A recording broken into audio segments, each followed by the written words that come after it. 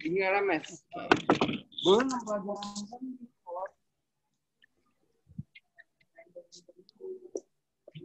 Nah, nah ini eh, ini dulu ya. Intermezzo ya. Jadi kalau kalian kuliah terus nggak tahu itu buat apa sih kuliahnya, cuman sekedar memenuhi mungkin permintaan orang tua gitu ya atau yang penting kalian kuliah ada gelar seperti ini nanti ujungnya ya setelah wisuda atau ketika wisuda bingung habis ini mau kerja di mana ya? Mau ngapain ya? Apa sih tujuan hidup saya? Gitu ya. Jadi eh, kalau bisa dari sekarang tuh udah mulai di prepare mau apa sih kehidupannya ke depan gitu ya. Oke jadi jadi ini motivasi aja ya karena saya selalu memang eh, memberikan motivasi dulu sebelum perkuliahan ya. Tapi saya bukan motivator bukan ya. Tidak bisa jadi motivator. Oke sekarang kita masuk ke pengikatan dan isomerisme. Ya di video Bu Gustine sudah ngomong panjang lebar udah hampir satu setengah jam ya. Nggak tahu kalian ketiduran apa enggak ya. Namanya istilahnya kuliah depan mukanya aja suka masih ngantuk ya. Apalagi ini cuma dengerin suara doang ya. Nah, jangan-jangan udah ada yang tidur ya. Oke. sekarang. Lu Terus Tapi gimana? kelasnya belum buka. eh sebentar Dis. Tunggu tunggu kali. Oke, bentar ya. Ini suaranya masih ada yang noise. di kampus ya. Saya mute dulu. Oke. Kecuali kalau ada yang ingin bertanya ya, silahkan kalau ada yang ingin bertanya di di unmute boleh. Tapi maksudnya kalau tidak kan mengga- mengganggu yang lain.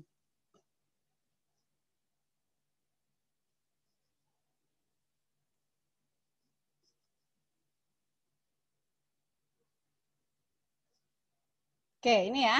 Oke, intinya sudah dijelaskan di video kenapa sih kita belajar pengikatan karena semua senyawa kimia beda ikatan, beda beda sifat gitu. Kayak contohnya ini ya, metil butirat sama propil asetat, rumus molekul sama, cuma beda penempatan aja ya.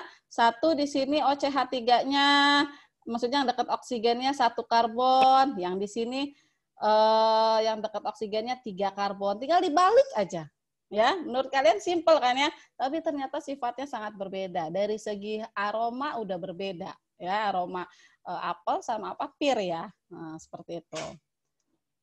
Terus ini contoh lain NaCl sukrosa ya. Eh, padahal sama-sama warna putih kan ya butiran putih. Tapi yang satu melelehnya cepat ya. Coba kalian lelehin gula pasir ya. Eh, yang suka apa itu karamelisasi gitu kan ya. Nah tapi kalau melelehkan NaCl itu eh, susah gitu ya. Oke, kemudian eh, kita langsung ke Oh ya, sebelumnya saya mau tanyakan dulu terkait kuliah. Ada yang ingin ditanyakan dulu nggak terkait materi yang ada di video? Ada yang di, tidak difahami mungkin?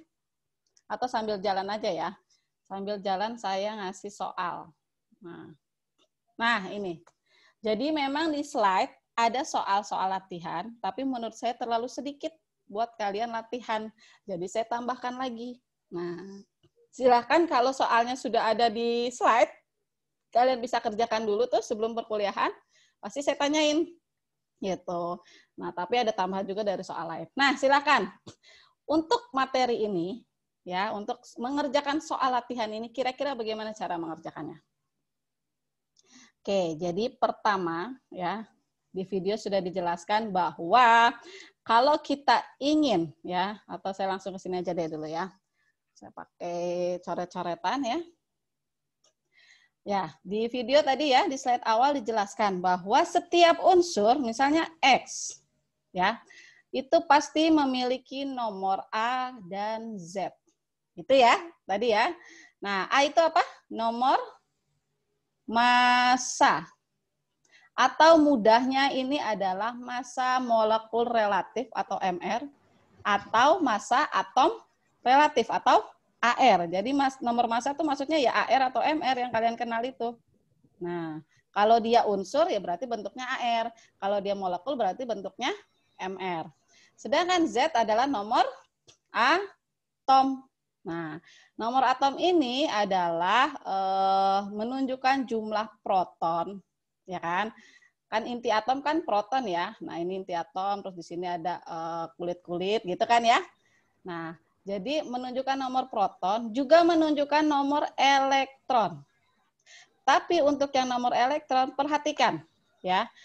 Kalau at- unsurnya adalah unsur netral, misalnya seperti apa ya gampangnya eh, di slide sebelumnya misalnya di sini eh, Na saja ya.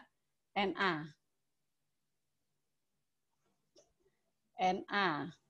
Nah, di sini 11 tulisannya ya, nomor atomnya 11. Kalau dia netral, netral itu artinya apa? Kalian lihat di atas ini nih, superscript sini nggak ada sesuatu. Ya, ini namanya netral. Kalau dia netral, jumlah proton akan sama dengan jumlah elektron. Jadi ketika saya tanya berapa jumlah proton? 11. Berapa jumlah elektron? 11. Paham ya? Nah, sekarang kalau di sini adalah bukan unsur netral, misalnya di sini ada tulisan positif, berarti jumlah proton tidak sama dengan elektron. Ya, jumlah proton tidak sama dengan elektron. Oh ya, sebentar ini ngomong udah saya ini belum ya? Eh, sudah saya record ya. Sorry. Takutnya lupa.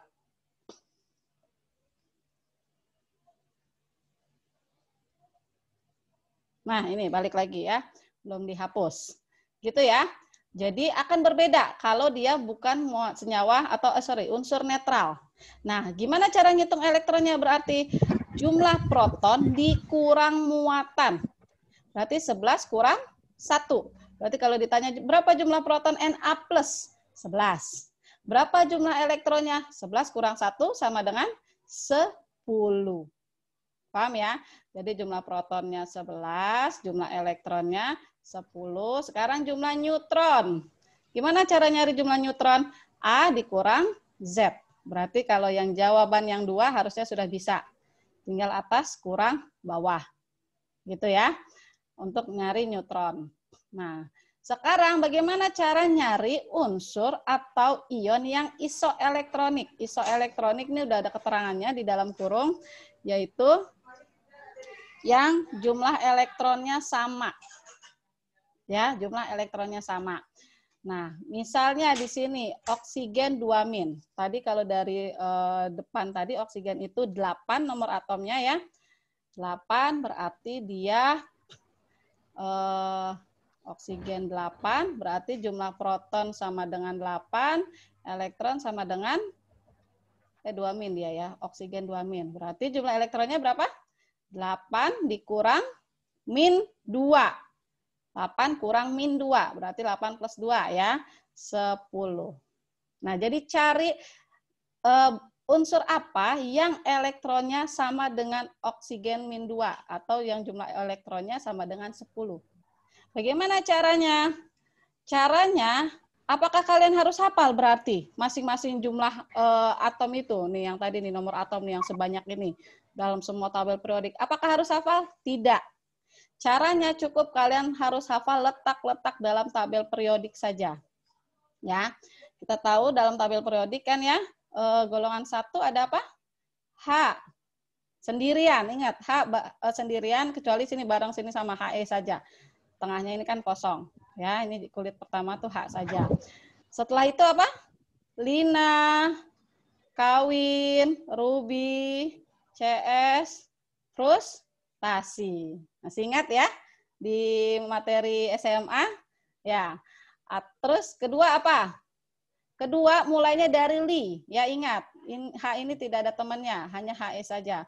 Berarti beli, mangga, campur, serikaya, bawah, rambutan. Gitu ya. Nah, kemudian yang ketiga, di sini kan kosong dulu ya, karena ada unsur transisi. Ba, al, ga, inti. Nah, ini saya lupa nih kalau mau di apa disingkat gimana ya bahasanya. Keempat, C, C, G, S, N, P, B. Nah, ini intinya udah saya tulis. Nah, nah kalau yang kelima itu nggak tahu nih ya, guru SMA saya ngajarinnya napas babi. Coba. Tuh ya. NPAS SBBI. Ya, mungkin kalian ada singkatan yang lebih uh, sopan silakan ya. Ini guru SMA saya ngajarinnya gitu. Jadi sampai sekarang saya ingatnya gitu ya. Terus juga ini saya lupa singkatannya apa pokoknya tapi sih saya udah hafal OCTPO. Nah, ini FCLBRI. plus heniarkriseron ya. Nah, maksudnya apa? Kalian nggak perlu hafal berapa jumlah persisnya, tapi posisinya saja ya. Jadi misalkan tadi kita patokannya kan si oksigen ya, dia nanya yang sama kayak oksigen. Nah, misal saya mulai dari yang C ya. S itu golongan berapa? Golongan 6 bareng sama oksigen. Pasti dia di bawah oksigen. Kira-kira mungkin nggak dengan hanya S2 min akan sama dengan O2 min? Mungkin nggak? Ingat ya, satu golongan itu bedanya 8. Ya, jadi nggak mungkin S2 min akan sama dengan O2 min, kecuali S2 min akan sama, eh sorry, O2 min akan sama mungkin jadi S10 min ya berarti. Seperti itu. Atau gini deh, kalian pakai rumus. Misalnya kalian nggak tahu nih, oh berapa ya nomor atom O ya? Ya udah X misalnya O itu X. Berarti kalau O2 min X plus 2 tadi kan ya. X plus 2 kan. Nah ini. Nah, sekarang coba kalau S. S kan berarti O ditambah berapa? 8 kan ya? Karena kan saya bilang tadi satu golongan bedanya tuh 8. Berarti 8 tambah X tambah 2. Akan sama nggak dengan X plus 2? Beda ya, seperti itu. Nah sekarang silahkan saya nggak mau giniin satu-satu ya, entah ketahuan mana jawabannya ya. Silahkan dikerjakan satu menit saya coba nomor satu dan dua. Jadi saya akan butuh akan akan saya tanyakan dua orang. Silahkan ya. Dua menit cukup ya, saya rasa ya. Saya udah kasih contohnya tadi.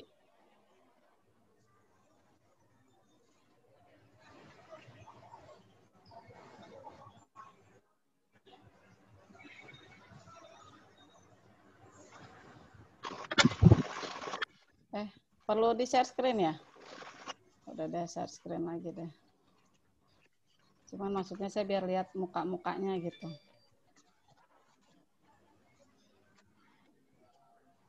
Eh kehapus jadinya ya. Tadi.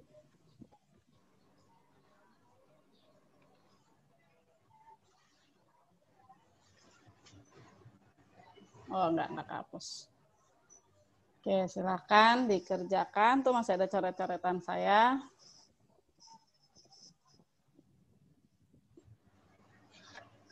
Nanti saya lihat dari uh, partisipan aja ya.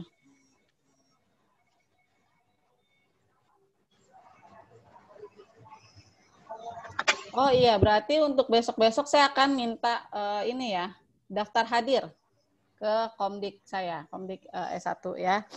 Karena kalau lewat partisipan mana saya tahu ya yang hadir siapa ya. Jadi saya lewat absensi uh, realnya, terus nanti saya panggil, kalau nggak ada berarti dia nggak uh, hadir gitu ya. Oke, sudah? Dapat jawabannya? Sudah, Bu. Sudah, oke. Okay. Saya mau uh, ada yang jadi uh, nomor satu mungkin karena takutnya masih ada yang belum paham.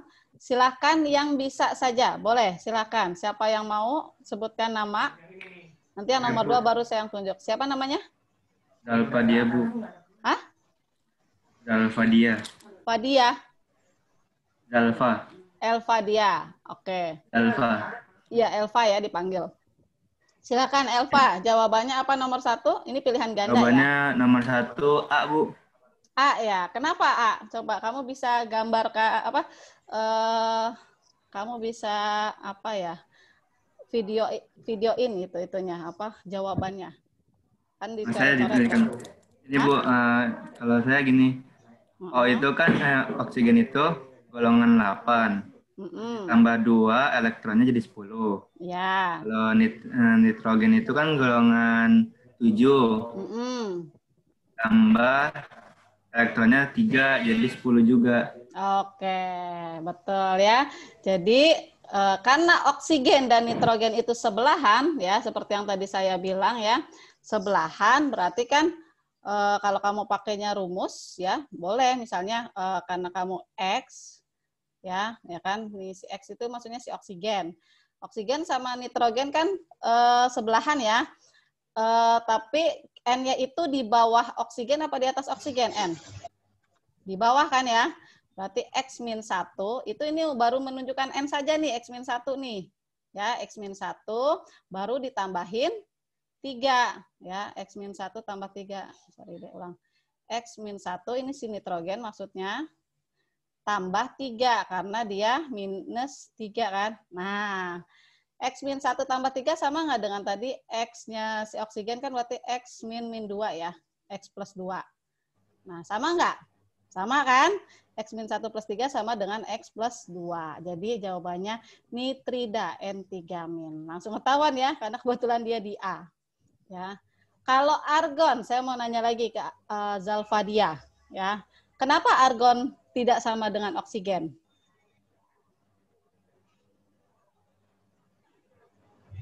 Zalfadia bisa di unmute? Kenapa? Argon itu Bu, uh, elektronnya kan 18. Terus mm. dia masuk ke golongan 8. Mm -hmm. Jadinya dia udah stabil dan elektronnya beda. Oke, uh, gini maksudnya menjelaskannya untuk teman-teman yang hafal nomor atom. Ya, saya tahu dari mana nomor atomnya 18 gitu loh. Karena argon itu tidak satu periode dengan oksigen. Jadi kalaupun mau ada yang sama dengan halogen kan itu saya tulis ya di sana nggak muat C N O sama apa lagi? Sini he, uh, apa F F ya. Nah, terus neon. Nah, yang sama dengan satu periode dengan oksigen adalah neon. Kalaupun mau dia sama dengan golongan uh, gas mulia, yaitu neon. Neon tanpa ada muatan sama sekali itu akan sama dengan O2 min. Sama itu. Ya enggak? Gitu. Ini kan tadi X plus 8 eh, plus 2 berapa? 10 ya. Ini juga 10 neon. Gitu ya. Jadi logika aja, air kan di bawahnya, pasti jauh banget bedanya. Gitu. Begitupun e, kalsium. Kalsium itu kenapa nggak sama? Karena yang satu periode sama O adalah ini kan kalsium golongan dua ya. E, beli, ya BE. Kalsium bawah lagi beli mangga campur. Nah di sini kalsium jauh banget ya. Pasti bedanya lebih dari 8 ini gitu. Klorida juga sama karena yang satu periode sama oksigen bukannya F tapi eh sorry bukannya Cl tapi F. Kalau ini diganti sama F min akan sama. Ya, ini juga kalau diganti sama apa tadi? Neon sama. Gitu ya. Jadi yang saya elektrin sama O2 min adalah N3 min atau neon atau F min seperti itu. Atau BE. Ya, tapi BE-nya pun bukan 2 plus ya. Gitu. Oke. Bu, nah, nanya sekarang, bentar, Bu. Ya, silakan dia. Untuk misalnya uh, ininya muatannya Bu. Mm-hmm. Ya bisa nggak Bu kayak 20 min gitu? 20 min? nggak nah. bisa. Nggak bisa. Malah berapa ya Bu? Uh, gini, logikanya ya, ini nanti ada hubungannya dengan elektronegatif, elektropositif ya. Uh, di video sudah dijelaskan bahwa semua unsur tuh ingin seperti golongan apa? gas mulia kan ya, golongan 8. Jadi ini istilahnya golongan gas mulia bisa kita bilang nih apa ya, uh, yang selalu dijadiin patokan lah gitu ya. Dia selalu uh, jadi patokan. Kenapa? Karena dia paling stabil, sudah oktet. Nah, jadi semua ingin gimana caranya merujuk ke sini. Ya, kayak misalnya F. F itu kan golongan 7. Jadi ada 7 elektron. Ya. Biar dia mirip ke sebelahnya berarti neon kan? berarti butuh satu elektron. Ya kan, butuh satu elektron. Nah, sehingga ini namanya makanya jadi e, bermuatan negatif. Jadi F kan segini. Saya langsung ngomongin ini ya sekalian. Nah, gini kan ya, 7. Nah, sehingga dia akan butuh satu elektron di sini tambahannya. Makanya jadi F min karena elektron itu muatannya negatif. Ya kan? Nah, yang kamu bilang 20 elektron, ngapain jauh-jauh 20 elektron? Ya, misalnya apa? Eh, F ini ya. F ini misalnya mau sama dengan Henear Krip. Sini ya. Sama dengan Krip. Ngapain sama minta sama-sama krip. Gitu loh. Kalau dia mau 20 elektron kan berarti sama dengan krip kan? Gitu. Ngapain? Yang penting dia ingin seperti golongan gas mulia. Gitu. Nah, gas mulianya ya nggak usah cari yang jauh-jauh, carinya yang satu periode. Nah, seperti ini. Ya, makanya lebih baik yang mending satu elektron aja udah cukup, yang penting dia udah stabil. Gitu. Jadi dia tuh cari patokannya, patokan yang paling dekat gitu loh. Jangan juga patokan yang jauh-jauh. Gitu. Nah, sekarang gimana kalau yang terlalu jauh, misalnya makanya kayak BE ya, atau MGD, MG. MG kan ada dua kemungkinan ya. Kalau dia mau seperti si uh, patokannya ini, bisa mirip sama AR apa bisa mirip sama NE. Nah, di sini kira-kira lebih dia lebih menyukai mirip sama NE apa AR kira-kira? Caranya gimana? Mg itu berapa elektron valensinya? Dua kan? Nah, gini ya, dua. Oke, sorry, gini aja deh, dua ya. Nah, dua. Kalau dia mau seperti AR, ya, dia butuh berapa elektron coba? 6 elektron. Ya, dia akan menjadi 6 elektron, 6 emin. Aduh. Bentar ya. Nah, 6 elektron. Tapi kalau dia menjadi seperti sebelumnya boleh. Jadi dia ada dua, dua pilihan, mau mirip Ne apa AR boleh yang penting masih dalam golongan gas mulia. Kalau dia ingin seperti Ne, berarti dia tinggal melepas nih si dua elektronnya nih. Sehingga menjadi Mg 2 plus. Kenapa plus? Karena kan kalau kita ngelepas yang negatif jadinya plus. Seperti itu. Kira-kira energi mana yang lebih tinggi?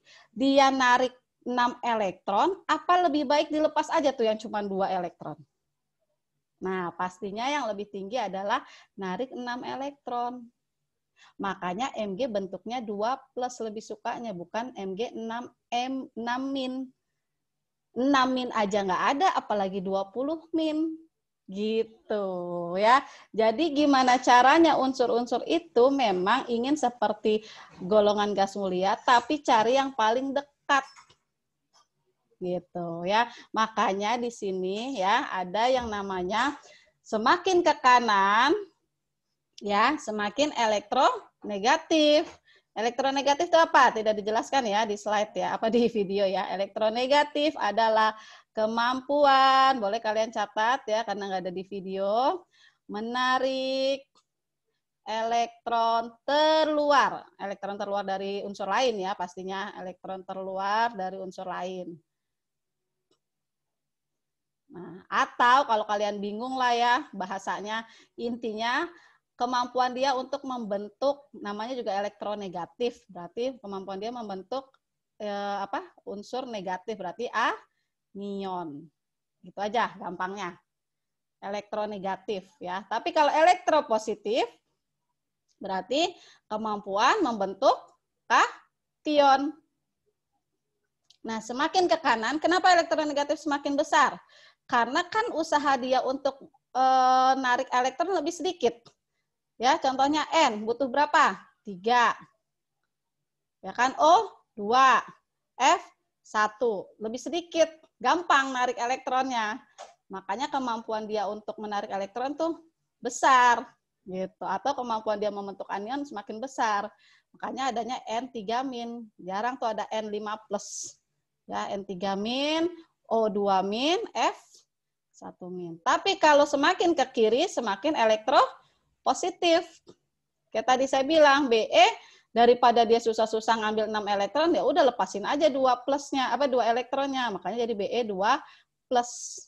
Jadi ini semakin mudah untuk membentuk kation gitu. Jadi di sini senangnya Li plus, berarti BE menjadi BE 2 plus ya.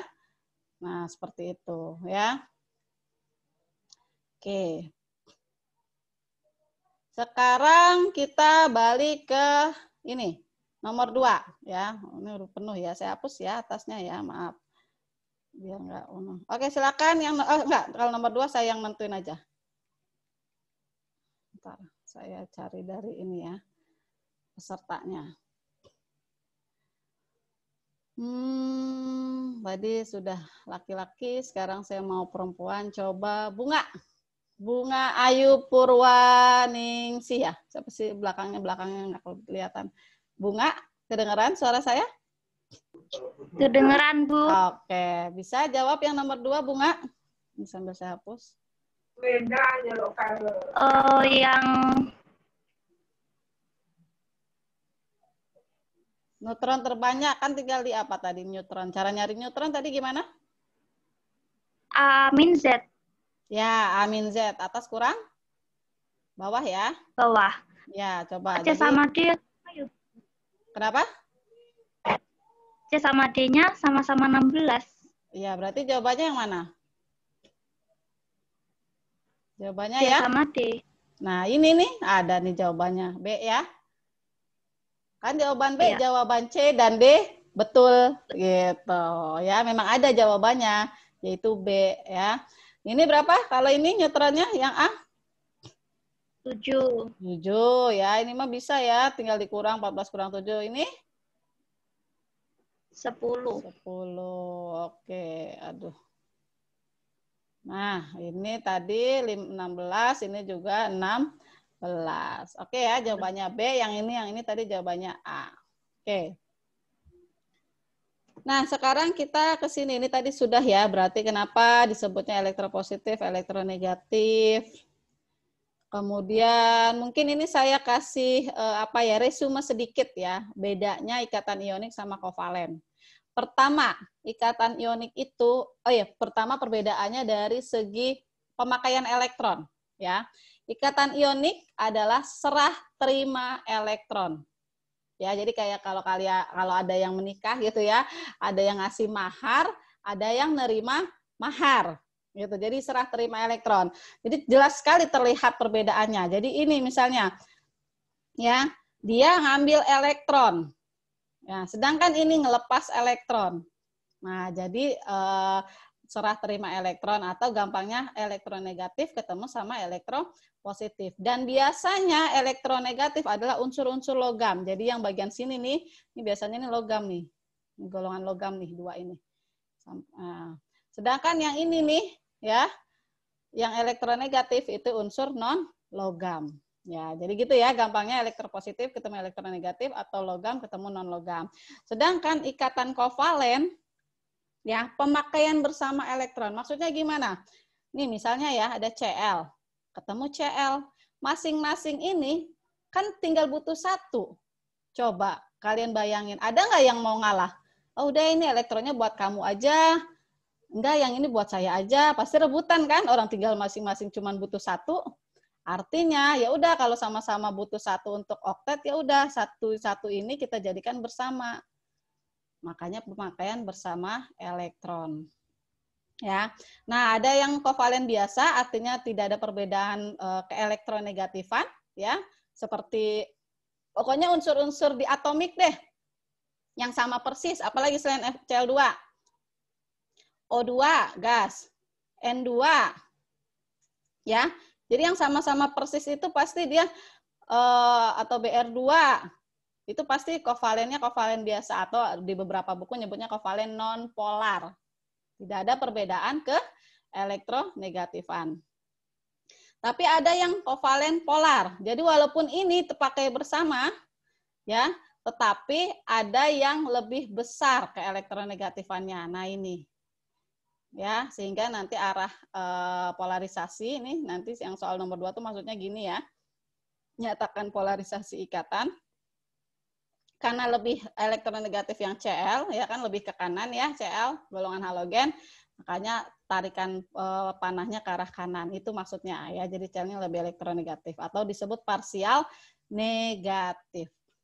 Nah, sekarang kalau misalnya tadi kan kalian sudah tahu ya, kalau kalian nggak dikasih tahu nih elektronegatifnya, bisa kan harusnya yang ngebedain eh, ini termasuk ionik apa kovalen. Gampangnya pokoknya kalau udah golongan satu ketemu sama golongan tujuh, nah itu udah pasti apa? Ionik. ya kan? Satu kan sangat elektropositif, tujuh sangat elektronegatif, ya kan? Nah sekarang yang membingungkan itu kalau golongannya tengah-tengah, misalnya golongan tiga ketemu sama golongan lima, kira-kira gimana nih nentuinnya dia ionik apa kovalen, ya kan? Caranya pakai perbedaan keelektronegatifan. Karena ada standarnya. Disebut ionik kalau perbedaan keelektronegatifannya sudah di atas 1,7. Ada nggak di sini? Nah ini. Di atas 1,7. Tapi kalau masih di bawah 1,7 kita masih nyebutnya kovalen polar. Itu kenapa sebabnya HCl masih disebut kovalen polar. Padahal kita tahu H golongan berapa H? Golongan satu. Ya, H itu kan golongan satu ya, harusnya kan ngikutin yang lain. Nah ini H memang agak beda sendiri.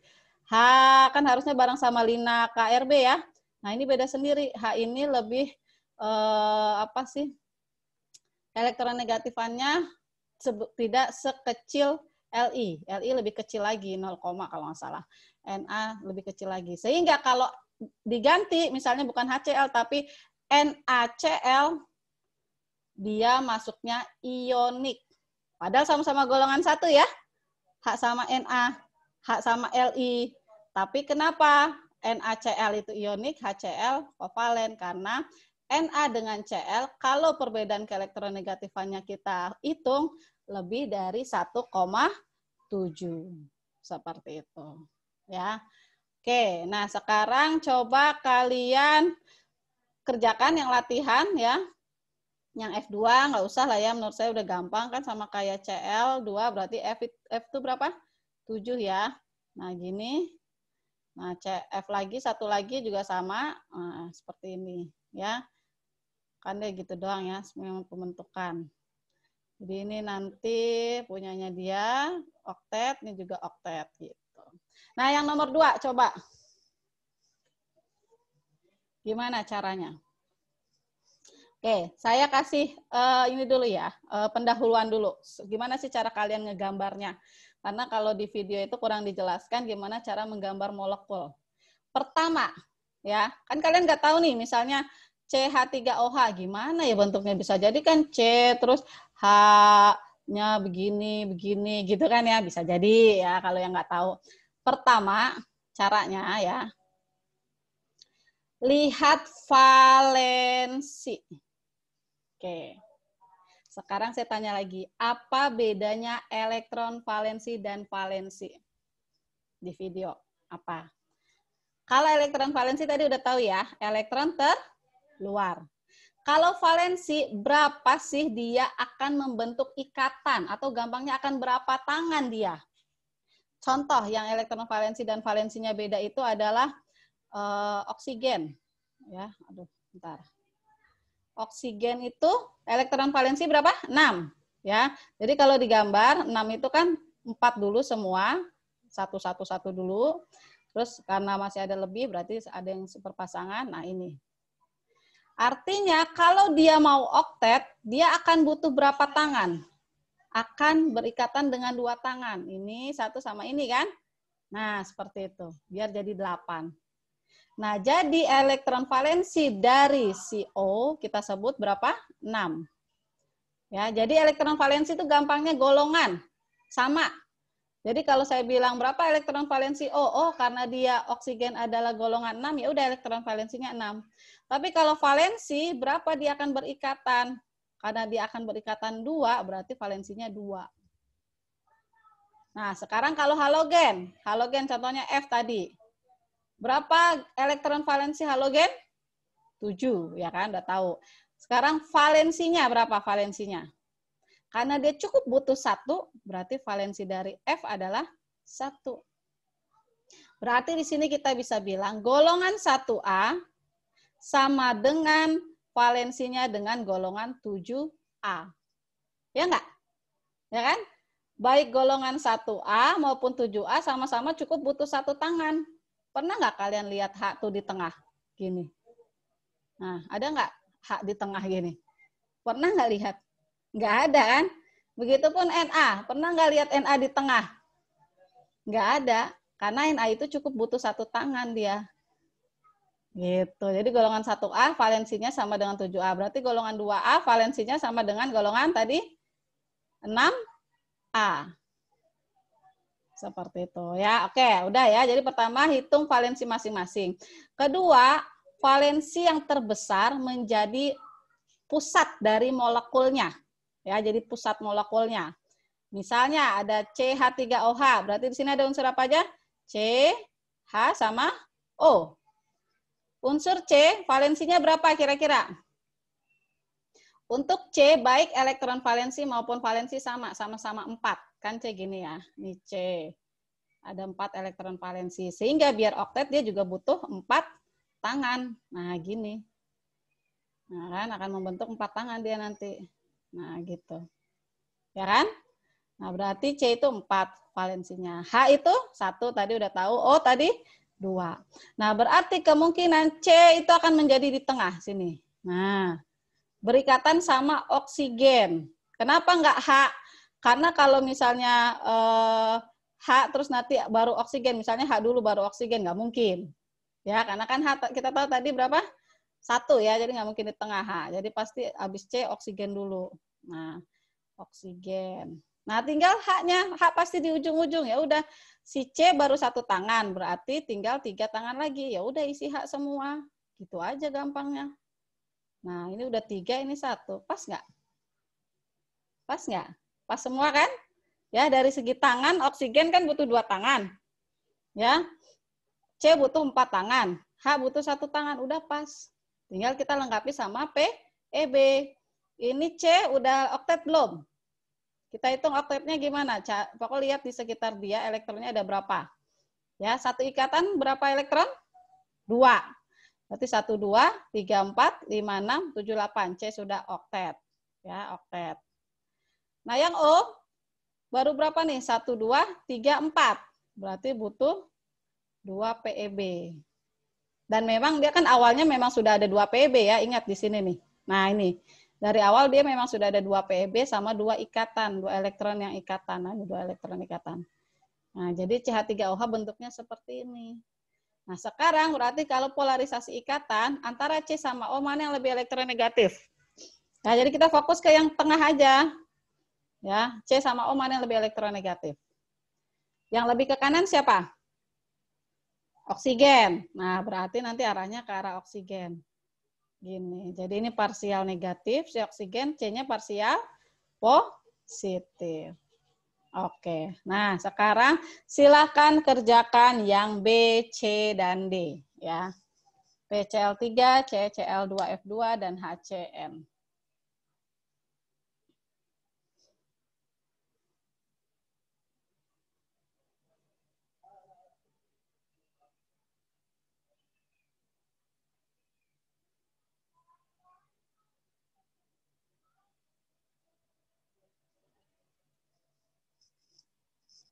Oke, boleh sambil nunggu yang lain mengerjakan yang sudah dapat, boleh e, mengajukan diri siapa yang mau mengerjakan PCL3?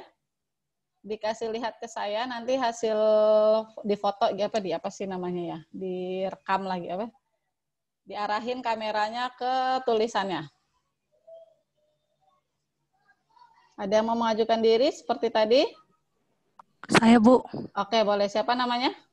Nina, Bu. Nina. Nina nggak bobok kan ya Nina? Oke, bentar. Saya eh, stop screen dulu ya. Ini agak bingung nanti kalian ngelihat Nina ada di mana.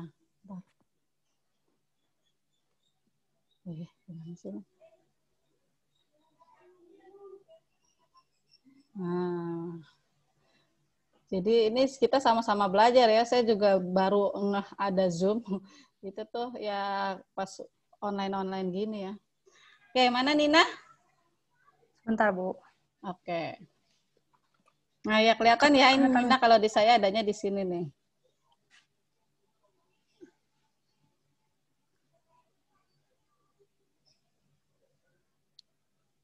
Oke.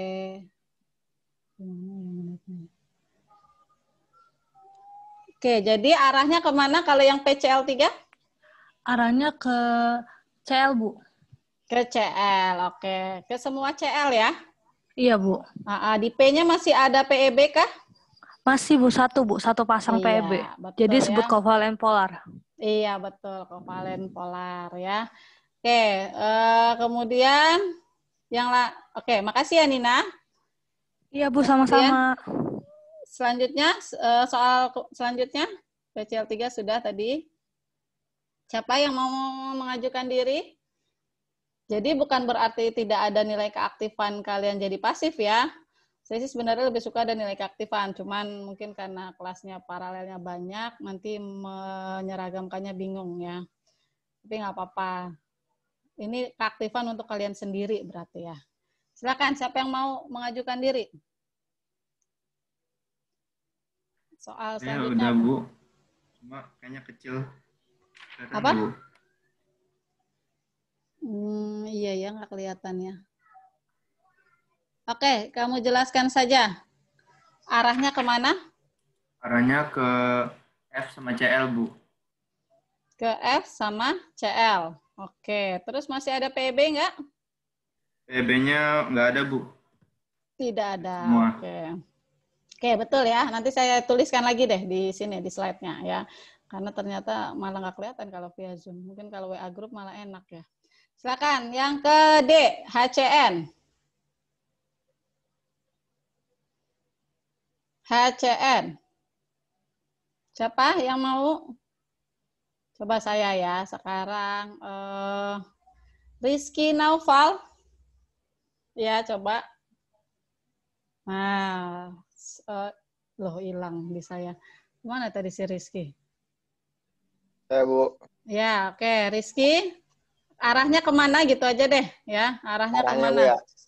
Yang arahnya ke N sama ke eh ke C kan H HCN. Mm-mm. Itu ke N ya, Bu ya. Ke Ke N. N. Terus yang C itu kan iya sama ke N. Yang H-nya Oh. itu ke C. Oke, ke N ya berarti ya. Oke, ya betul Iya, sekali. Oke, berarti sudah paham ya semua. Ini saya akan tuliskan lagi karena eh, mungkin tadi nggak kelihatan yang dikerjakan temannya. Ntar saya hapus dulu. Oke, jadi yang PCL 3 bentuknya eh, P, CL, CL, CL. Gini kan ya. P itu dari awal dia memang elektron valensinya 5. Nah, jadi baru tiga yang terpakai untuk berikatan sama Cl, berarti masih sisa satu PEB. Coba kita hitung. Dia oktet apa tidak? 1, 2, 3, 4, 5, 6, 7, 8. Oktet ya, Cl udah lah, nggak usah kita gambar. Pokoknya Cl di sini pasti ada 3 PEB. Ini juga sama. Ini oktet dia ya. Nah, sehingga ini bentuk PCl3. Nah, kalau dia bilang nyatakan polarisasi, tadi Nina bilang ke arah Cl. Betul sekali. Karena Cl golongan halogen, itu golongan yang paling elektronegatif. Jadi seperti ini. ya Ke arah Cl semua. Nah, sekarang kalau CeCl2F2, berarti C, Cl, 2. Ingat ya, pokoknya halogen itu satu aja. Pasti dia di ujung. Ya udah taruh di ujung aja. Nah, gini udah nggak ada PB sama sekali. Nah, tinggal nanti arahnya ke CL maupun F. Gini ya, mudah kok. Nah, gini. Gitu. Sekarang HCN. Ini tinggal kasih garis di sekit di dekat C. Udah dikasih tahu tuh strukturnya bahwa di antara C sama N rangkapnya 3. Nah, tapi di dekat N ada PB nggak? Ada, karena PB dari dari awal N itu elektron valensinya 5 kan? Baru kepake 3, berarti tinggal dua lagi. Nah, ini juga oktet nih dia. 1, 2, 3, 4, 5, 6, 7, 8. C udah 4 tangannya, udah pas. H 1. Nah, arahnya ke arah N. Karena N golongan 5, C golongan 4. Ya. Oke. Benar-benar pada bisa semua ya. Nah, sekarang kita akan bahas eh, ini ya. Bu, mau tanya boleh, Bu? Ya, boleh. Silakan. Siapa? Eh, David, Bu. Ya, David. Boleh, David. Mau tanya itu kalau yang bikin gambar polarisasi ikatan yang garis itu, Mm-mm. itu emang digambar aja semua arahnya ke mana atau nanti misalkan di akhir itu ada ternyata arahnya ini lebih condong ke mana gitu? Atau digambar aja semuanya gitu? Digambar semua. Digambar Oh, nggak ada semua. nanti endingnya dia gambar aja arahnya yang condong, lebih condong ke mana nggak ada ya, Bu? ya? Nggak ada. Kayak misalnya kan tadi CCL2 F, F2 ya. Ya, misalnya ya. Ya kan CCL2. Kan yang penting kita membandingkan antara dua unsur, antara dua unsur mana sih sorry CCL2 F2 mah Itu di atas sendiri. Bentar, bentar. Ini saya turunin lagi dulu. Nah, ya, mana? Nah, ini kita ngebandingin tuh per dua unsur. Nah, ini C dengan CL lebih elektronegatif CL. Gitu kan? C dengan CL lebih elektronegatif CL. Nah, tapi begitu pun C dengan F lebih elektronegatif F. Gitu, ya. Oh iya. Ah, ah. Oke. Terima kasih, Bu. Mungkin maksud kamu gini ya, kalau dia ngomonginnya kepolaran ya, kalau dari segi kepolaran, iya nanti akan ngaruh, ya. Tapi eh, yang penting posisinya ya, maksudnya gini loh, misalnya ya, eh, apa ya, CCl2, CHCl3, ya. Ini eh, kenapa sih kita ngomongin masalah kepolarisasi ikatan ini nanti hubungannya dengan secara keseluruhan dia itu polar apa enggak gitu ya? Misalnya kalau CCl4 Boleh. CCl4 ya. CCl4 aduh sorry.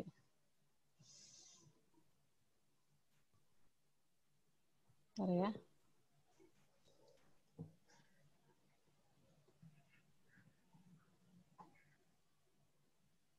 Oke, ini saya hapus dulu semua.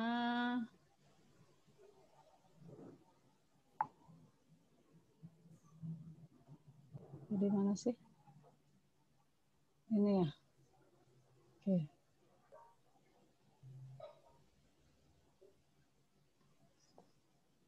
Nah, misalnya ya CCl4.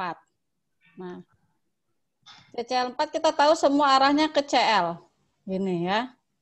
Semua arahnya ke Cl. Kalau kita ngomongin kepolaran unsur yang isinya dua ikatan aja kayak ini nih, ya. H dengan Cl. Oh, arahnya ke arah Cl. Berarti udah terjadi perbedaan keelektronegatifan. Berarti dia disebut makanya kovalen polar. Tapi kalau kita udah ngomongin unsur molekul yang isinya bukan hanya terdiri dari dua unsur, misalnya seperti ini, CCl4. Berarti kan udah berapa nih?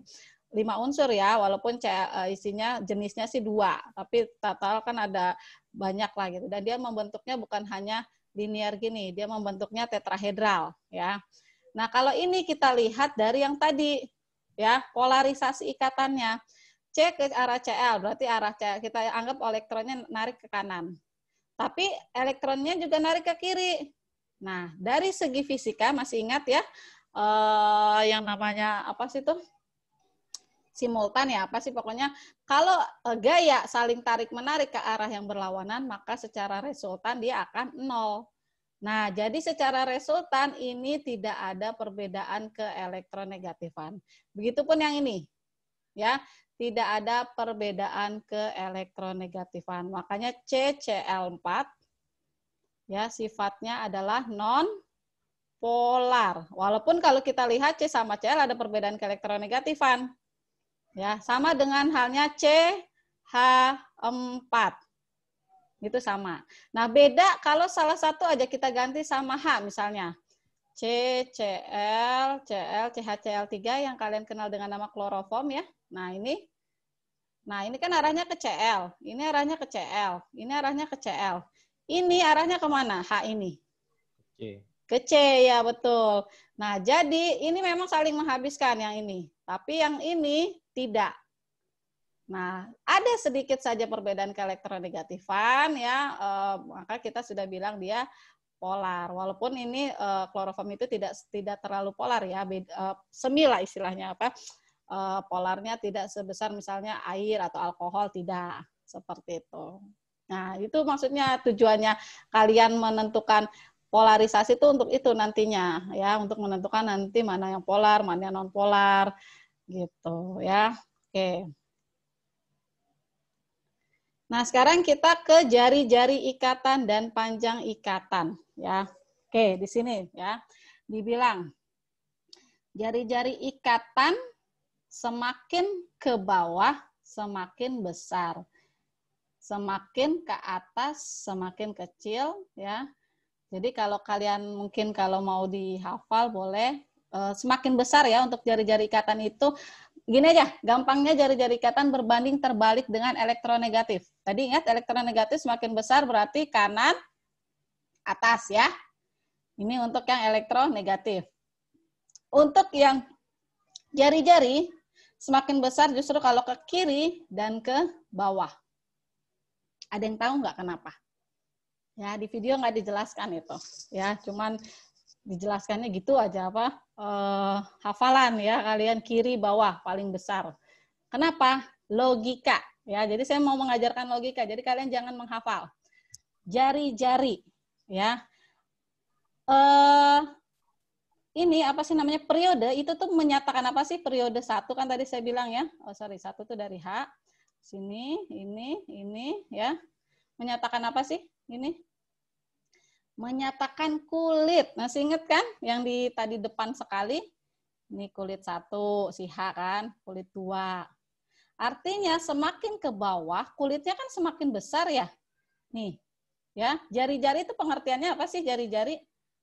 Kalau di matematik SMA kalian jari-jari adalah jarak antara inti dengan kulit terluar. Artinya semakin besar kulit nih, ya semakin besar kulit nih gitu ya. Otomatis jari-jari juga akan semakin besar. Paham ya? Ini jelas logikanya. Ya harusnya sudah paham. Karena intinya kan periode itu semakin ke bawah maksudnya kulitnya. Ya kulitnya semakin uh, apa besar. Ya udah jari-jari otomatis semakin besar. Nah lalu kenapa semakin ke kanan semakin kecil dengan jari-jari yang sama, misalnya dia sama-sama di nomor dua, jari-jari di nomor dua, ya kan? Semakin ke kanan, nomor atom itu semakin besar apa kecil? Semakin besar kan ya? Nomor atom C kan lebih besar daripada eh lebih besar N kan daripada C, misalnya gitu kan. Nah, semakin ke kanan nomor atom semakin besar, semakin ke kanan ya. Nomor atom itu menyatakan apa tadi saya bilang jumlah proton, proton atau muatan inti, muatan di inti. Nah, kalau muatan intinya semakin banyak dengan dia kulit yang sama, dia akan lebih tertarik nggak menurut kalian? Jari-jarinya. Semakin tertarik, makanya semakin kecil. Ya, gitu. Jadi, dalam satu periode yang sama, artinya pada kulit yang sama, semakin ke kanan, dia akan semakin kecil jari-jarinya karena ada tarikan dari si proton yang semakin banyak seperti itu ya. Jadi intinya kiri bawah itu uh, paling besar ya jari-jarinya. Nah, jari-jari berbanding lurus dengan panjang ikatan. Logikanya gini, kalau jari-jari tadi saya bilang jarak dari uh, inti keluar, kalau panjang ikatan berarti antara dua ikatan itu adalah jarak antara dua inti. Nah, ini Artinya semakin besar jari-jari kan otomatis semakin besar panjang kan? Misalnya, kalau yang ini saya ganti salah satunya dengan jari-jari yang lebih kecil. Nah, ya udah berarti nanti kan jadinya jaraknya begini. Nah, ya. Nah, jaraknya kan seperti ini, panjang ikatan. Gitu. Jadi jari-jari berbanding lurus dengan panjang ikatan, ya. Dan satu lagi yang mungkin tidak dijelaskan ya, dan energinya semakin panjang semakin kecil. Logika aja, kalau misalnya uh, saya ini selalu ngomonginnya kalau kalian LDR deh ya. LDR, kan jaraknya jauh ya. Satu Jakarta misalnya, satu di Semarang gitu ya. Nah kan berarti ada banyak tuh gangguan-gangguan yang bisa terjadi dalam hubungan tersebut, dalam ikatan tersebut ya maka energi katanya semakin kecil semakin mudah putus gitu. Makanya LDR kan rentan putus ya. Dibanding kalau yang tiap hari disamperin ya gitu. Terlepas dari dia bosen apa enggaknya lah ya. Pokoknya intinya biasanya kalau yang jarak ikatannya atau panjang ikatannya semakin besar semakin kurang stabil atau semakin mudah goyah lah semakin mudah putus. Oke nah sekarang Sebentar, kita ke sini dulu. Ya, nanti sekalian saya bahas yang itu. Ya, coba sekarang kalian kerjakan nomor 1, 2, dan 3. Ya, latihan 2 dulu. Silakan. Ini baru ya ada di apa saya yang buat bukan saya yang buat, saya ambil dari buku ya. Silakan dikerjakan.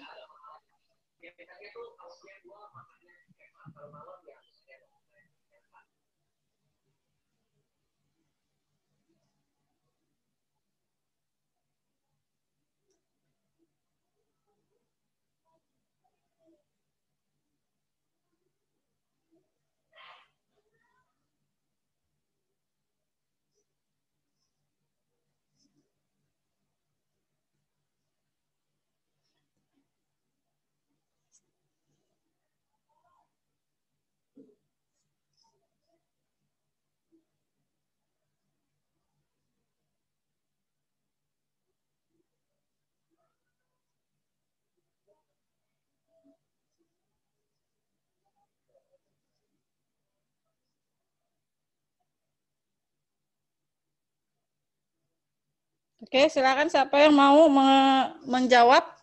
Ini nggak perlu ditulis ya. Kalian jelaskan aja. Ini kan pilihan ganda ya.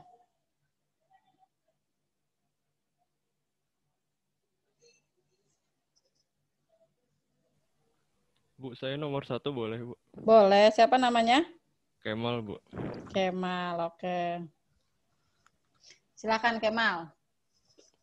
Jadi nomor satu itu kan ikatan kovalen yang paling polar itu yang mana? Eh, Hmm. kalau bisa dilihat kan semuanya ini polar, tapi mana yang paling polar? Eh, Hmm. bisa dilihat ini kan semuanya sama eh, berikatan dengan H. Cuma Iya, bedanya betul. C, N, O, F, Cl.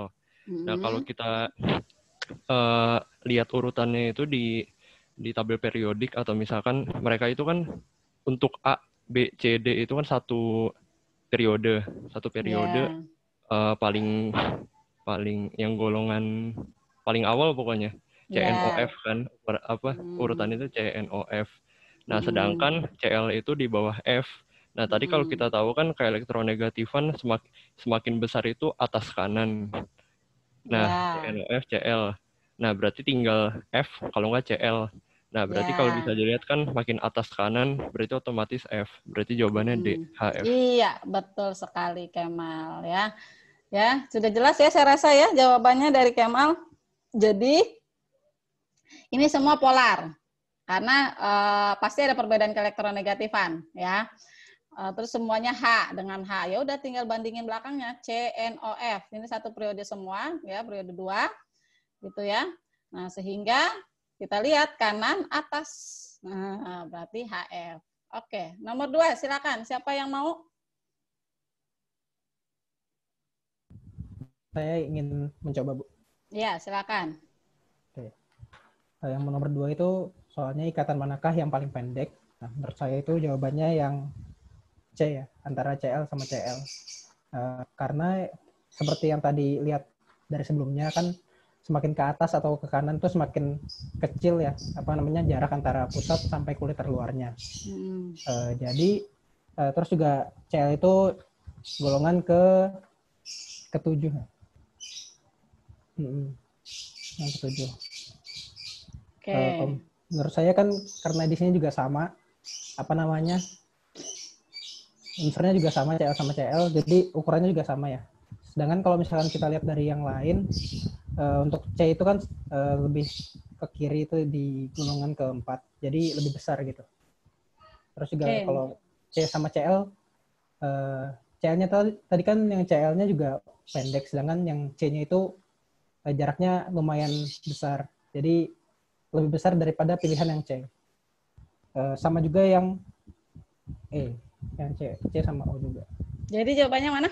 Menurut saya yang C. C ya.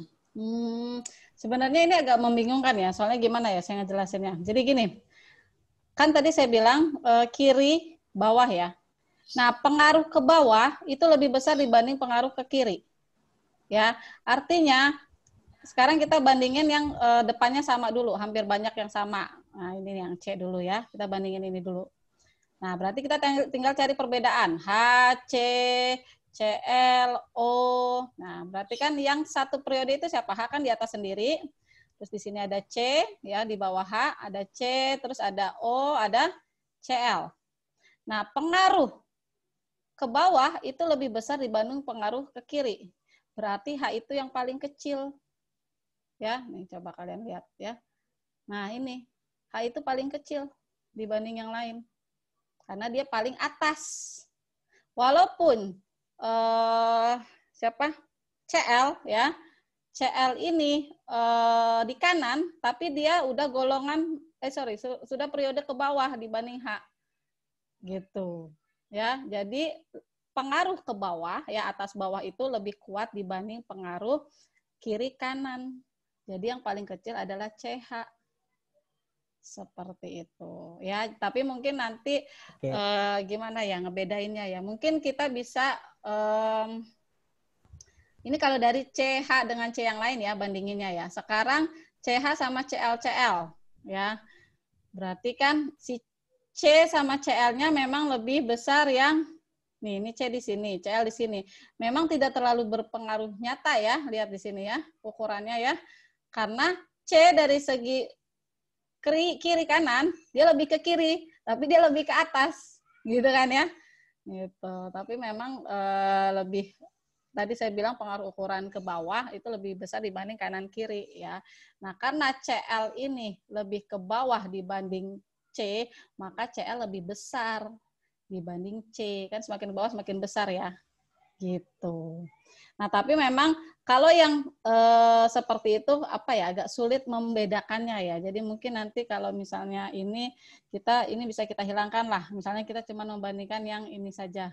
Jadi cuma ngelihat H, C, CL, O gitu ya. Karena kita kan harus ngelihat keseluruhan. Ya, jadi jadi misalnya ini saya ganti deh, jangan CCL, C sama eh, apa N. Nah, gitu. Jadi baru kalian bisa ngebandingkan C, N, O gitu ya. Jadi jawabannya CH. Seperti itu. Ya. Jadi balik lagi pengaruh ke bawah lebih besar dibanding pengaruh kanan kiri ya. Oke. Terima Nomor kasih, tiga. Saya Bu silakan. Siapa namanya? Eh, Kireina. Ah? Kireina. Kirena. Ya. Oke, Kirena. Jawabannya apa? Eh, B karbon. Iya, betul. Gampang ya ini ya. Lihat aja satu golongan pasti sama valensinya. C, C, G, S, N, P, B. Nah, ini pasti sama. Ya. Nah, kalau misalnya boron samanya dengan apa? Di sini ada nggak? B apa sih? B alga inti nggak ada. Atau ini berarti yang sama nih dua nih. Nitrogen sama fosfor sama ya. Oke. Nah, kemudian kalau yang untuk sebelumnya ini Nah, ini paling saya mau menjelaskan yang ini ya, formaldehida. Anggap kalian nggak tahu ya bentuk formaldehida seperti apa. Pokoknya dikasih tahu rumus molekulnya H2CO. Tadi udah dikasih tahu cara nentuinnya eh, yang tengah adalah yang banyak valensinya kan. Berarti C sama O ya. Jadi tulis aja dulu misalnya C sama O. Nah, di sini ada H. Ya. Seperti ini. Ya, misal ya. Kita misalkan aja. Misalnya H-nya di sini. Ya, di sini kan masih ada 2 PB ya, yang oksigen jangan lupa. Sini yang H. Oke, ya. Nah, kemudian ya eh, kalau seperti ini, kira-kira apakah sudah oktet? Ya, maksudnya saya ulang ya. H, C, terus di sini ada O, sini ada H, gini kan ya? H2CO. Apakah sudah oktet? Pertama, dari segi oksigen, dia belum dia sudah oktet memang dari segi oksigen. Tapi dari segi karbon belum. Ya, sini karbon masih ada dua yang nganggur. Ya. Nah, artinya tidak mungkin eh, apa? Tidak mungkin si karbon ini ada ikat elektron tunggal ini. Ini namanya elektron apa kalau tunggal? Radikal. Ya, radikal sangat tidak stabil. Nah, jadi kita harus cari kemungkinan lain. Kemungkinan lain bisa jadi, oh oke, H-nya nanti. Berarti misalnya ini H, C, terus sama O dulu, ya. Misalnya ini sama O, di sini kan masih ada PEB ya. Nah, di sini masih ada dua PEB, di sini masih ada satu. Nah, ini ada yang tunggal, ya. Ada yang tunggal. Apa salahnya? Jomblo sama jomblo ketemu, ya kan? Nah, jadi dia bergabung. Sini. Ya kan? Nah, seperti ini. Nah, sekarang tinggal ini juga. Terus ada H satu lagi. Ini ada tunggal. Nah, di H juga ada satu lagi. Nah, apa salahnya? Tadi ya, tunggal ketemu tunggal bergabung. Nah, seperti ini. Ya. Secara keseluruhan dia akan membentuk oktet. Coba kalian hitung. Di oksigen. 1, 2, 3, 4, 5, 6, 7, 8 oktet. Sekarang si C. Ya, ini udah nggak ada ya. 1, 2, 3, 4, 5, 6, 7, 8. Seperti ini. Jadi struktur dari H2CO adalah C rangkap O, H, H. Gitu. Jadi menentukan dia rangkap apa enggaknya ya berdasarkan sudah oktet apa belum. Sama seperti kita nentuin CO2. CO2 kan berarti kurang lebih pasti C diapit 2O kan? Gak mungkin O diapit 2C. Nah kan gini kan ya awalnya. C ada berapa valensi? Eh, elektron valensi 4, baru kepake 2. Berarti masih ada tunggal 2 di sini. Oksigen ada berapa? 6, baru kepake 1. Berarti ada 5 lagi. Nah, seperti ini kan. Ini juga ada 5. Nah, kita lihat di sini ini ada tunggal, ini ada tunggal. Ngapain sendiri-sendiri? Ya enggak? Nah, bergabunglah yang tunggal ini. Jadi udah enggak tunggal lagi, udah enggak ada. Ini juga ada tunggal, ada tunggal. Bergabunglah dia. Nah, makanya CO2 bentuknya rangkap. Coba kalian hitung. Uh, udah oktet belum? 1, 2, 3, 4, 5, 6, 7, 8. Oksigen sudah oktet. Ini juga pasti udah oktet sama. Sekarang yang C, ini udah nggak ada ya. 1, 2, 3, 4, 5, 6, 7, 8. Nah, gitu cara menentukan strukturnya gimana sih H2CO ini. Jadi ternyata tengah-tengah sini ada rangkap loh. Hmm, seperti itu ya. Kemudian yang ini juga sama. C3H4 ya. C-nya ada tiga, berarti kan pasti C-nya di tengah semua kan, nggak mungkin H di tengah. Ya kan, terus ada H-nya tapi cuma empat. Logikanya kalau dia ada tiga C ada berapa H nih di sini? Ya kan? Ini aja udah tiga, di sini dua, di sini tiga, udah berapa tuh? Nah, tapi gimana caranya nih C3H4 biar oktet? Berarti pasti ada yang rangkap. Coba kalau satu yang rangkap misalnya gini. Nah, sisanya ini berapa berarti? dua. Ini sisanya satu. Ini sisanya tiga. Oh, masih kurang. Haknya cuma butuh berapa? Empat. Berarti ada yang rangkap tiga. Nah, gini. Ya. Nah, pas ini. Di kanan butuh 3H, di tengah udah nggak butuh lagi, yang kiri butuh satu. Gitu ya itu untuk menentukan dia e, gimana bentuknya, apakah tunggal, rangkap apa ganda tiga. Lihat pertama valensi ya, yang yang valensinya banyak di tengah. Ya intinya hak atau golongan satu itu pasti di ujung. Nah setelah itu kalian lihat gimana caranya, pokoknya biar dia oktet. Oke, nah kemudian sekarang kita beralih ke sini. Uh, isomer ya, sudah dijelaskan isomer itu adalah rumus molekul sama Artinya C-nya sama, H-nya sama, mungkin kalau ada N juga sama. Tapi berbeda. Ada yang berbeda. Apa yang berbeda? Tergantung jenisnya. Kalau namanya isomer kerangka, kerangkanya beda. Ada yang lurus, ada yang bercabang. Kalau posisi berarti posisi gugus fungsi. Nah ini di video nggak dijelaskan apanya posisi apa, gugus fungsi. Jadi selain C dan H itu kita sebut gugus fungsi. Jadi kalau rangkap itu kita sebut udah masuk gugus fungsi, rangkap tiga juga gugus fungsi. Terus kalau ada golongan halogen itu gugus fungsi, ada N itu juga masuk gugus fungsi namanya. Jadi posisi gugus fungsinya berbeda. Nah, isomer fungsional berarti jenis gugus fungsinya yang berbeda, jenis. Ya, alkena sama sikloalkana. Ya. Gini aja gampangnya. Kalian kalau mulai uh, apa hidrokarbon kan mulai dari apa? Alkana ya. Alkana itu CN, H, 2N plus 2. Ya, C misalnya C2H6. Ya. Nah. Nah, gini kan ya, C2H6 misalnya. Kalau dengan adanya ikatan rangkap, berarti kira-kira berapa hidrogen yang putus, yang hilang? Kalau saya ini tambahin ikatan rangkap, berarti kan kebanyakan ya tangannya ya, berarti hidrogennya akan putus dua. Jadi setiap ada ikatan rangkap, itu hidrogennya akan hilang dua. Makanya alkena CN H2N. Jadi plus duanya ini hilang. Gitu ya. Sama seperti halnya dengan adanya eh, siklik ya. Ya, misalnya kan kalau dia nggak siklik kan gini ya. CH3 CH2 CH3 yang tiga dulu deh ya. Dengan adanya siklik berarti kan dia akan berikatan ujung sini sama ujung sini kan? Nah, nih ujung sini ketemu atau jangan gitu deh gambarnya ya saya. Nah, di sini CH. Ya kan? Gini. Kalau dia mau membentuk siklik kan otomatis gini kan?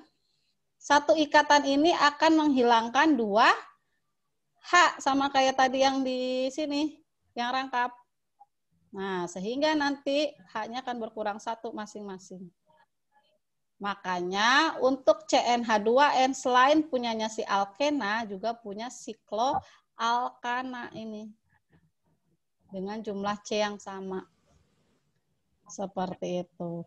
Nah, kalau rangkapnya kita tambahkan lagi, bukan dua, tiga, ya udah, tinggal tambahin rangkap di sini satu, berarti haknya berkurang lagi kan?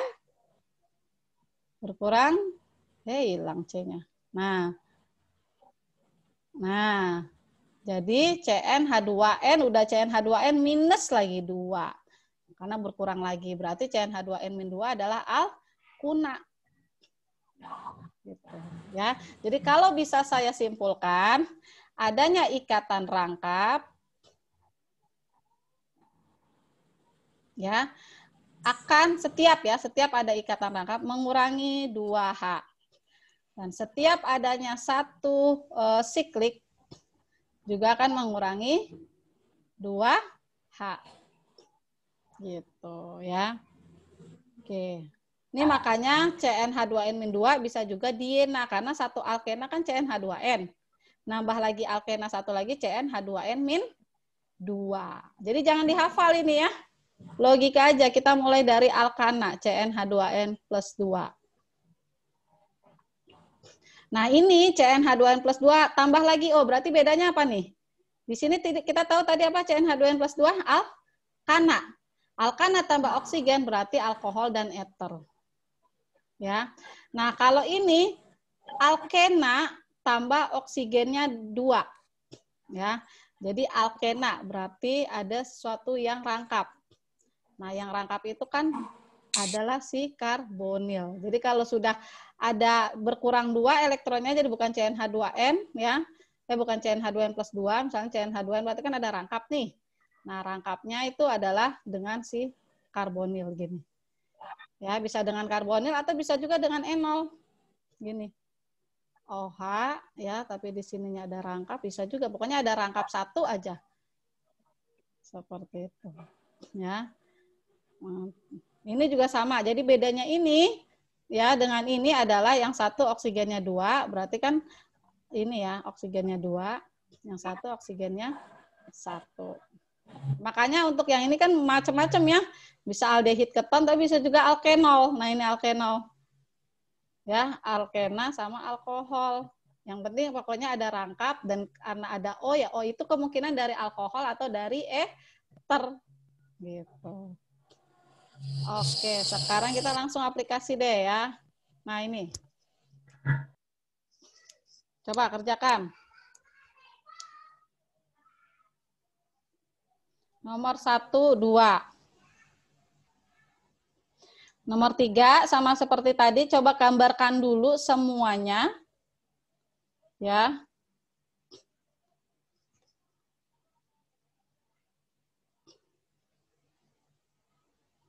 Misalnya, gimana ya saya ngejelasinnya. Yang nomor tiga saya jelaskan dulu ya.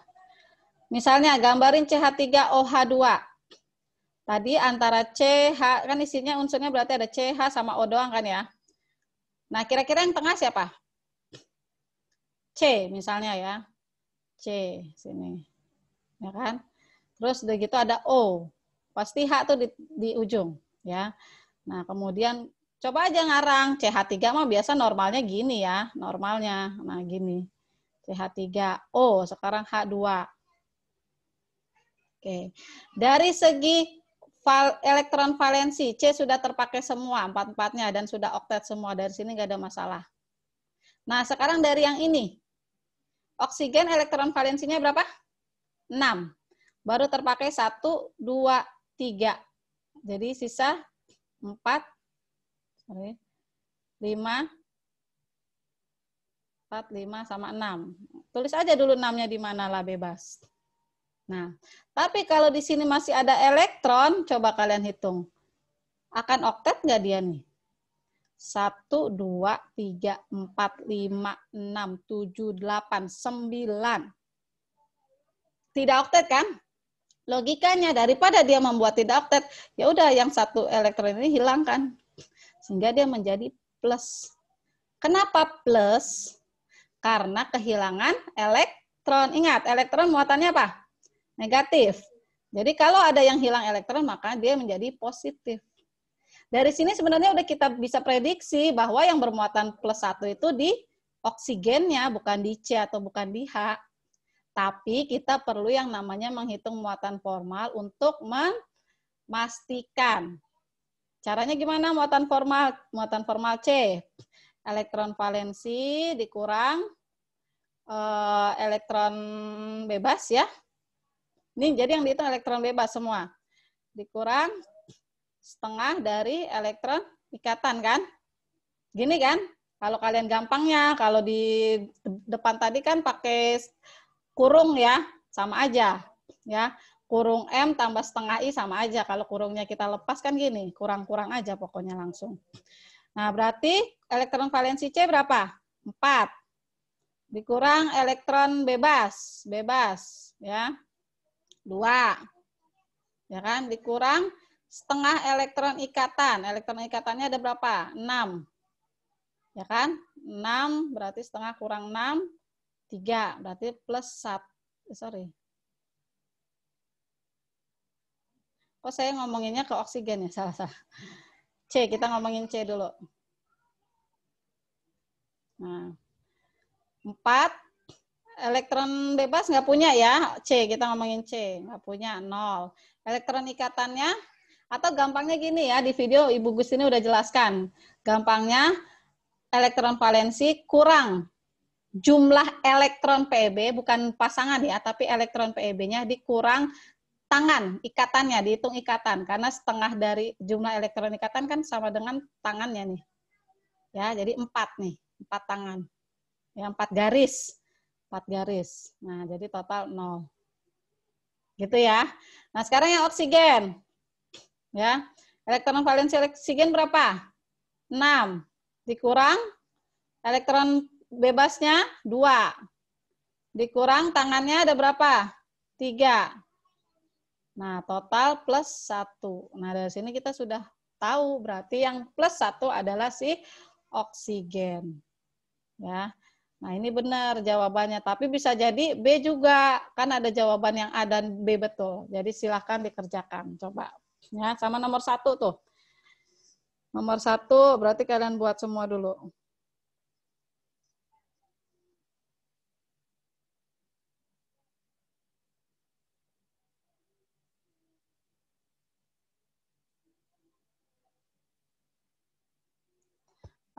Eh, waktunya udah ini ya? Udah habis ya, nggak berasa ya?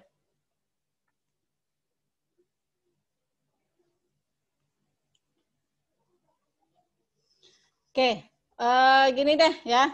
Yang nomor satu, ini saya kasih jawabannya saja. C5H10. C5H10 berarti CnH2N kan? Ya nggak? Dua kali lipatnya kan? Berarti tadi kemungkinannya apa? Alkena atau sikloalkana. Berarti kita gambarkan dulu alkena ya gambarkan. Saya biasanya sih lebih suka pakai garis ya cepat tuh 2 3 4 5. Nah, gini misalnya. Ya, berarti ini eh, satu pentena. Nah, bisa jadi rangkapnya kita pindah di nomor 2 sini. Tuh 2 3 4 5. Ya. Nah, kalau rangkapnya saya pindah ke sini sama enggak? Sama ya dengan yang ini ya. Nah, berarti ini sama ini kita sebut isomer posisi. Ya. Terus bagaimana lagi selanjutnya? Rangkap kan udah nggak bisa kita pindah-pindah lagi. Langkah selanjutnya, potong satu karbon, jadikan sebagai cabang. Jadi karbonnya 4. Nah, gini, 1, 2, 3, 4, rangkap di nomor 1, coba cabangnya di nomor 1. Ini isomer apa nih? Isomer struktural. Ya, satu lurus, satu bercabang. Terus gimana lagi? Bisa jadi masih 4, ya. Tapi cabangnya di sini. Ya kan? Terus bisa nggak kalau cabangnya di ujung? Kalau cabangnya di ujung tetap ya, sama ya. Jadinya panjang juga, ujung-ujungnya lurus gitu ya. Nah, berarti satunya lagi adalah coba cabangnya di sini. Tuh, dua, tiga, empat, lima. Eh, jadi nggak bisa, deh. Rangkapnya aja. Nggak bisa. Nah, jadi bisa jadi ini rangkapnya di sini sama ininya di sini. Nah, udah. Nah, kalau yang C5-nya, sikloalkananya kemungkinan berarti siklopentana biasa. Atau kalau mau kita jadiin eh, 4, C-nya 4, nah seperti ini. Tinggal satunya lagi sebagai cabang. Atau C-nya 3, berarti yang cabangnya ada berapa? Sisanya adalah 2, karena kan dia 5 kan. Bisa duanya begini, bisa duanya beda-beda. Nah, seperti itu. Ya, jadi total ada berapa nih isomernya? 1, 2, 3, 4, 5, 6, 7, 8, 9. Ada 9 isomer. Oke. Nah, kemudian untuk eh, resonans terakhir ya, saya mau bahas resonans. Untuk teori orbital molekul saya akan bahas barengan sama alken, alkana, alkena ya minggu depan. Jadi untuk resonans, soalnya saya khawatirnya tidak paham ya kalian dengan yang videonya. Intinya gini, resonansi itu adalah susunan atomnya sama, misalnya CO3-2-min. Ya, kita tahu strukturnya seperti ini. Ya, artinya ada oksigen yang mengemban muatan negatif. Ada dua oksigen mengemban muatan negatif. Ya kan? Nah, tapi kita tahu dari mana yang rangkap itu bisa yang kanan kan, bisa yang atas, bisa yang bawah kan? Artinya semua punya kecenderungan membentuk ikatan rangkap. Nah, jadi susunan atom sama, tapi berbeda susunan elektron itu disebut resonansi. Jadi artinya yang banyak elektron bisa nanti dia e, menyumbangkan PEB-nya. Sini. Nah, kebalikannya, sekarang yang rangkap ngasih ke yang elektronnya ke situ. Karena kan kalau ini udah jadi rangkap, kan C-nya jadi lima tangannya. Nggak mungkin kan lima, makanya yang rangkap jadi tunggal. Jadi nanti ini menjadi CO jadi tunggal ya yang atas gantian yang eh sorry jadi rangkap yang atas. Nah yang ini jadi tunggal. Nah jadi tunggalnya adalah yang kanan dan bawah.